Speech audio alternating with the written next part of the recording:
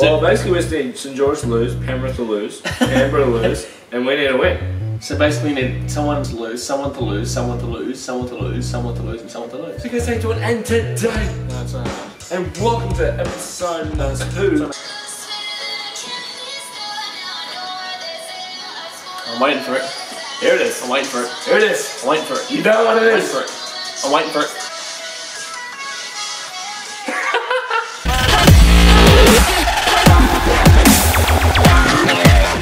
Doing? And today on Backyard Sport, that's right, mate. You know what we're doing. You know what we're doing. We're here for episode number two, big boy. This is it. This is it.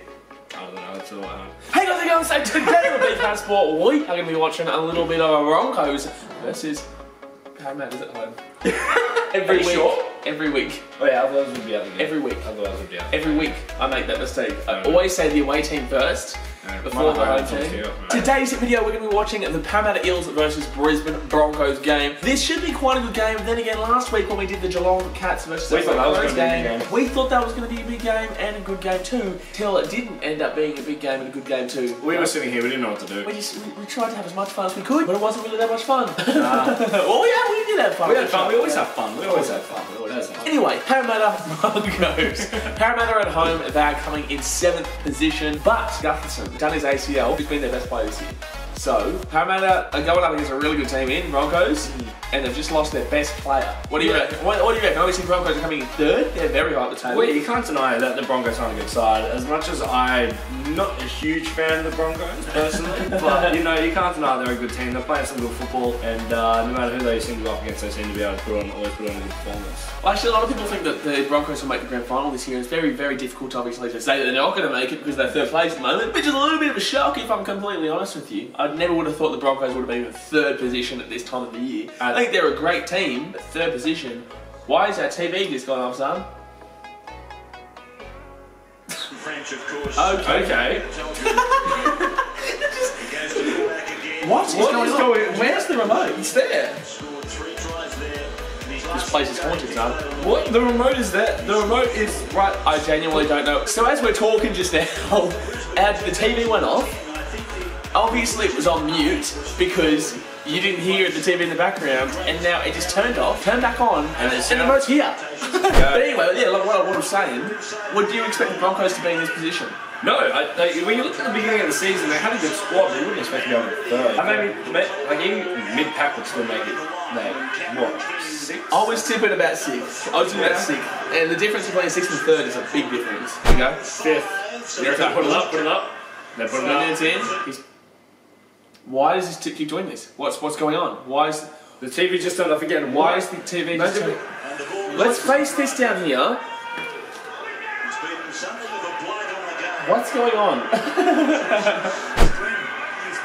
Oh, good going. Oh my gosh. Oh, James Roberts is Oh. away. When James Roberts Go, James James. Roberts is away, No, he's he's the fastest player in the game. That's forward. That's too easy. That's that was forward. way forward. Oh my god. That was. Oh my god. They just, how did they just miss that? What are they How doing? they- oh my what? god. Oh my god, he's Someone's still gonna score. Oh, Oh my my god. Oh my god. What just What happened? just happened? What just what? How was that a try? He's just he's not even gonna check it. No, he's not going to check it because it was a try, but But what just I don't get what just happened. Harry had like 50 chances to stop him. Harry's boys had a lot got to get to James Roberts. When James Roberts is, is in open space, as much as I hate James Roberts, I think that whenever he's in space, Why didn't he that's the score? most ridiculous thing I've ever seen in my life. And they still score without getting a And tackle. then they can't even tackle him. Right now. Oh my gosh! Oh, Wow, whoa, James whoa. Roberts. James What? Roberts. How have they just they're just gone bang bang bang bang bang bang bang? How about that pass? That was a great pass pass. from Matt Gillett too. I'm pretty One sure. ten out of. Oh, they're loving it. Let's give him that. Uh, Pepsi Max. Tries. Oh, gotta love some Pepsi Max. Gotta love some. Hey, Look at the meters game, 389 to 93. Oh my gosh. We've just seen meters gain. 389 metres gained in 9 minutes for the Broncos. Parramatta are on 93. Oh, jeez. oh, surely. Uh, uh, uh, uh, uh.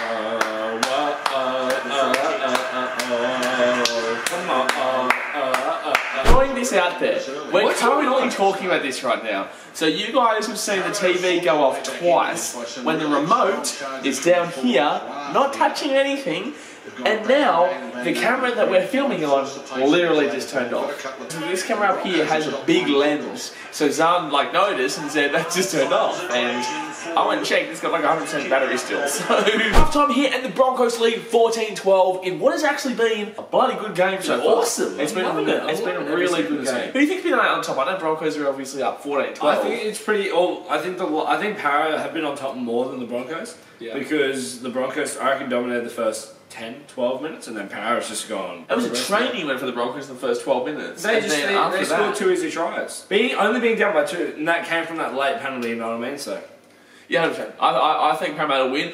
Obviously, would be surprised with Broncos winning because they are a phenomenal bloody team. Yeah, But I just think, I don't know, Parramatta's got the edge tonight so far. I'm pretty keen for this next half. I'm actually really excited. I'm Yeah, really excited. I'm- excited I'm really excited for this I'm next half. Tough penalty.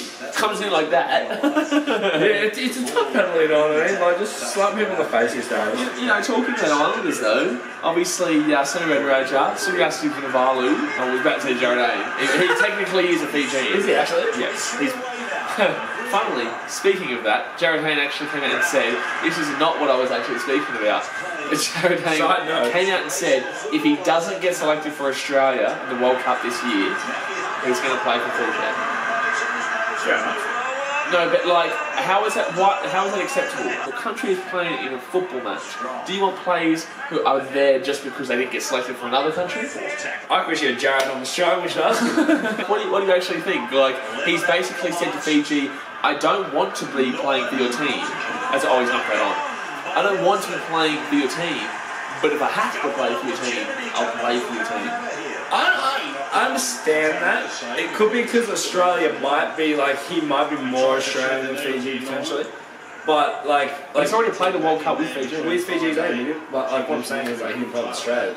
Yes, Well, yes. And if he he takes played Australia. Well, see, he could be both. It could just be like putting it down. Look, Fiji out. Look, Australia is like if I don't get selected for that, like look, I'll come play for you guys in Fiji. It's fine. It's more like saying like giving them the choice because Jarryd Hayne, elite, elite athlete, man, phenomenal player. Oh, I'm saying. I think he's a phenomenal player, and for Fiji to have someone of his caliber in that team, that would just make the team even better. But I just don't agree with that that he's saying. no, Sam, look, I, I think choose a team. That's it. If you don't get selected, I'm sorry.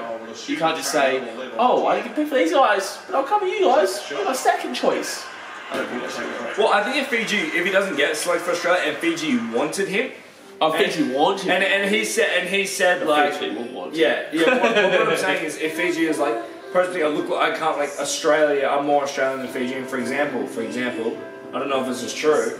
But if he's more Australian than Fijian, if you're like, look, look, a Fiji, uh, if I don't get selected in the Australian squad, I'll come play for you guys because they, like, might have approached him, you know what I mean? You know what I'm saying? Islanders. Why don't teams go to the islands as much as they should? Like, for example, Fijians, the two best wingers in the game, Suliasi Vunivalu from the Melbourne Storm, Fijian, Semi Raja, Parramatta, Fijian, um, Koroibete before he went to the, st- before he went to rugby union, Fijian.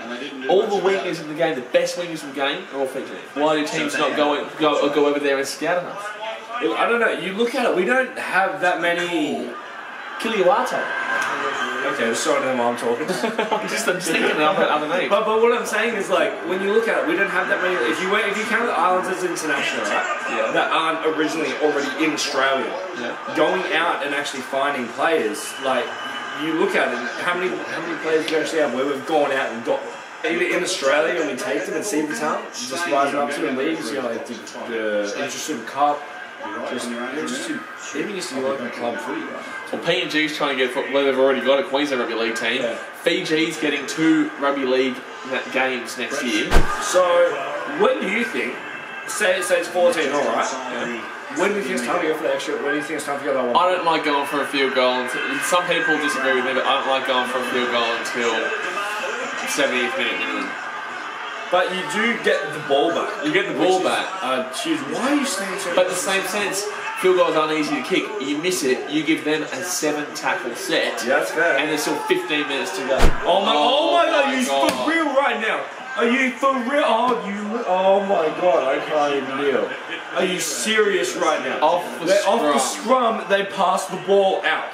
Rugby Are you kidding me? passed the ball Oh my God! He passed it over. Convert the try of French. The game What a game. over What a game. What a game. Anyway, guys, that's it for this week's episode.